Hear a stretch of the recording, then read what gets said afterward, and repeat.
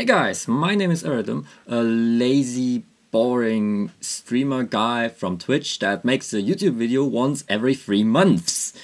Yeah, GG idiots. Today, I'm actually here with the second episode of Touhou Danmaku Bootcamp after. Oh, when did I release the first episode? That was during my stay in Japan, and I was in Japan like. I came back three months ago, even longer, and then I did it during the like middle of my Japan trip. So I guess last episode is five months ago. So, but hey, whatever, I don't care. And you uh, now get the second episode of Touhou Danmaku Bootcamp. Yay! In this episode, I will focus on uh, survivability strats and bullet hitboxes. So how can you learn to play the game better?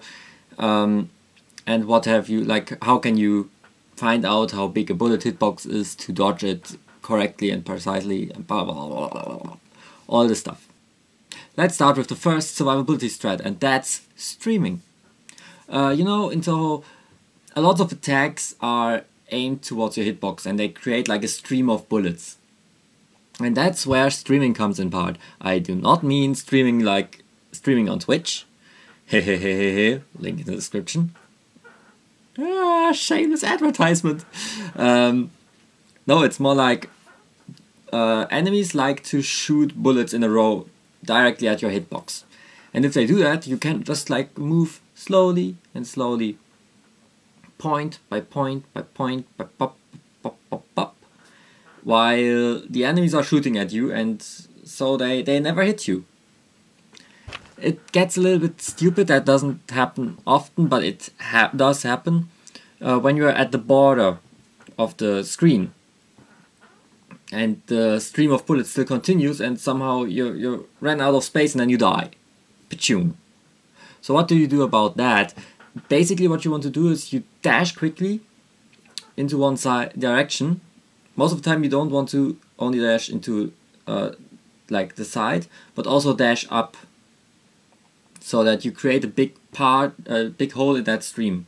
So you must um, think of think of it like stream, blah, blah, blah, blah, blah, blah, blah, then you move, and then it creates like a hole, and then you can stream back. That was completely stupid. I probably have a video somewhere here now so that you can see how it works. Yeah! The power of video editing. Uh, the second point is misdirection. It's basically the same as streaming, but it's also different. You sometimes also have attacks where the whole attack aims at the beginning of the attack onto your hitbox and then keeps that aim. A good example for this is Parsee's third attack. I think it's the first uh, third spell card. Yeah, her third spell card, where she aims at you and then all the bullets are going into that direction and you can basically just move to the side when she shoots it and then you move back and all the bullets are missing you. That's basically how it works. Okay, there's a little bit more to that attack, but most of the time you can win that attack with just doing that misdirection strat. The third point is correct death bombing. Uh, usually, you know, death bombing isn't really that safe. You usually don't want to death bomb because if you death bomb, it's most of the time you're already too late. You don't want to aim for a death bomb, you want to aim for a normal bomb. And if it's a death bomb, that just means it was very close and you were very close to dying, basically. Because the problem is most of the time, as soon as you realize, oh, I'm going to get hit, I have to bomb now, it's already too late. Your reaction is way too slow to react that fast. Too slow to react that fast. I'm, I'm so good. Oh, by the way, I used the word react. Fine bros, where are you? oh, just random fine bros shitting. Um, so usually you want to use a bomb as soon as you feel unsafe and not like try to get a death bomb because it's cool to get a death bomb. That's that's not good. Basically, you already want to die before you would have to use a death bomb. Another point that a lot of beginners do completely wrong, it's the correct use of the focus and the unfocus. So basically you have to imagine most of the time you want to be focused. Uh, because focused does that doesn't count for all the characters but for most of them.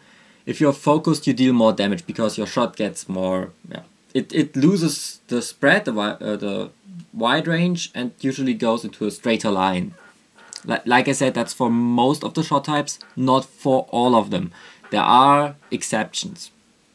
Just putting it out right here before you write down into the comments, oh, that's so wrong. There are exceptions. that doesn't count for every shot type. Uh, during bosses, you want to be focused most of the time uh, and only unfocus when you have to unfocus because of dodging. There are some attacks where the bullets are pretty fast and then you just need to go unfocused or if in, in general if you have to move fast during an attack.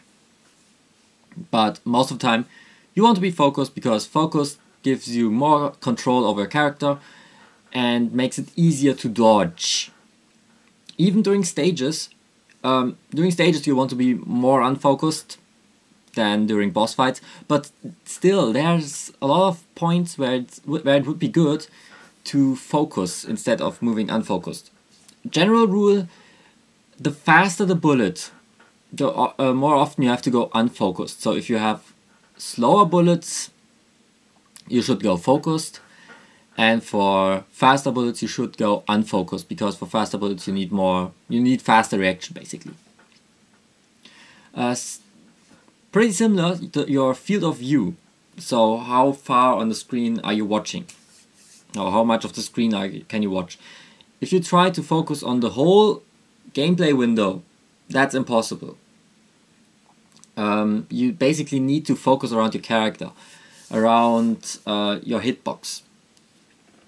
So usually I would say try to focus on the lower third of the screen, except if you're above that third. That would be stupid if you then would focus on the lower screen third and then you don't see your character and then you get hit. That that would be stupid. So, yeah. General rule: um, the slower the bullets, um, the smaller should your field of view be because you can focus more on the character and then you're better with precise dodging. But if the bullets are faster, you need a bigger field of view to see them in time. Basically, you during learning the stages, you know when there are slower bullets and when there are faster bullets, and then you just know how to uh, how to correctly use your field of view. The last topic I want to talk about today is the learning of hitboxes. So bullets, they are most of the time they look bigger than they actually are with the hitbox. Like the sprite drawn on the screen is bigger than the hitbox. Um, if you look here, I have an example of a bubble bullet uh, this bubble bullet is famous for having a ridiculously small hitbox compared to its sprite. So you can completely disappear with your character in that um, bullet without getting hit. There's also a general rule. Most of the bullets have a white part, like they are colored on the outside and then they have a white part in the center. That does again does not count for every bullet. For example, for this hard bullet, um, the actual hitbox is a circle, and that makes the bullet extremely small, even though it looks pretty big. But yeah, uh, also there's the general rule of the bigger the bullet, the smaller the hitbox in comparison to the bullet size. So if you have a small dot bullet, it's usually 100% hitbox. But those big bullets, not counting sun bullets, screw sun bullets, they are big. Also hitbox wise, they are big. You can also do some funny dodges with it, but you, they're not as ridiculous as the um, bubble bullets. So pay attention with the sun bullets. But most of the time, the bigger the bullet, the smaller the hitbox. That's it for the second episode of Touhou Danmaku Bootcamp. In the third episode, hmm, I wonder when I will release that one after waiting five months to create this one. Uh, we'll tackle the individual game systems. So we will look into every game and into the resource systems behind that game to hopefully make it a little bit easier for you to get a nice clear. I read through all the game systems uh, before really starting playing Touhou so that I know what to do. That's pretty uh, important. So if you don't want uh, to wait that long, just go on Touhou wiki and look the strategies for the games up. But if you can't wait that long, next episode, the game systems. Thank you very much for watching this episode of Touhou Danmaku Bootcamp. If you want to, you can uh, leave a like or a sub, would support me a lot and maybe give a little bit more motivation to do more of those videos. And uh, that's it. See you guys next time.